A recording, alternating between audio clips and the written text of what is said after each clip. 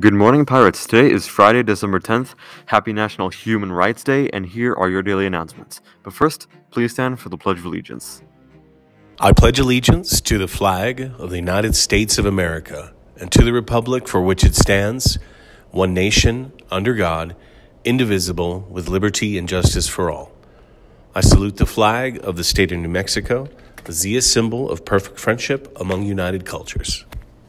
Hello, everyone. I'm Skylar Charlie, and welcome to the morning show.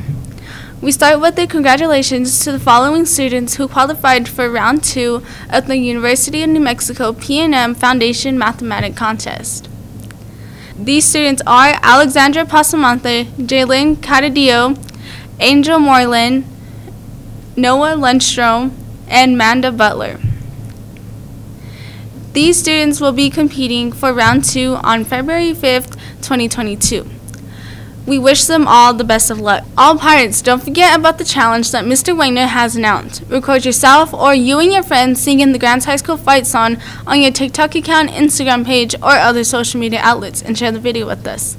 If your clip appears on our show, Mr. Wagner has promised free pizza. That's right, free pizza, and all you have to do is sing the school fight song, record it, and share it.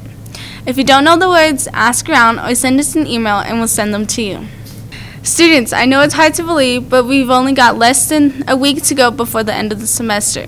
And I know we're all looking forward to your break, but now's not the time to let up on the gas. Remember that if you're struggling to do well in math, science, or history, there are resources available to help you. Mr. Garcia will offer students an assistance in New Mexico and world history after school in room 203. Mr. Grosh will help you out in science in room 304 after school. Mrs. Labarito can assist you in Algebra 1 and Science in room 265 before and after school. And Mr. Lauder can assist you in Math, Algebra 1 and up in room 231 before school. Don't wait too long to get the help you need. We also have finals next week, so get to studying and be ready. For lunch today, we're having chili beans, tossed salad, carrot sticks, cornbread, and diced peaches.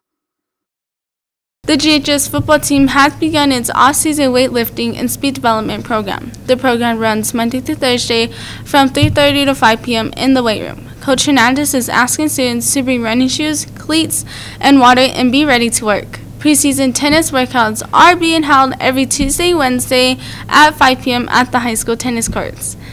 Even if you have never played tennis and think you might want to try it, now's the time to learn. If you have any questions or want to see what tennis is about, please come meet the coaches at the courts at 5 p.m. on Tuesdays or Wednesdays. To celebrate the New Mexico Year of Literacy, we have been asking students and staff to tell us about their favorite books.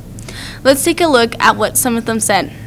In basketball news, take a look at this photo sent to us by girls C team coach Robert Marquez. It shows the GHS girls with their first place trophy from the Robert and Mildred Holmes tournament in Gallup. The GHS boys C team won their first two games but lost to host school Miyamura in the championship game to finish in second place.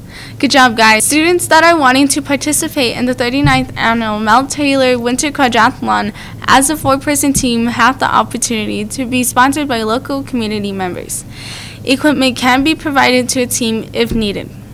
A team consists of a biker, runner, cross country skier, and snowshoer. The race will take place on February 19th, 2022. A special birthday shout out to Angelina Chavez, Santana Chavez, and Matthew Knott. Happy birthday. I hope you all have a fantastic day. The GHS Morning Show is brought to you by Angry Jack Productions and the students of the broadcasting classes. And as always, we are GHS for success.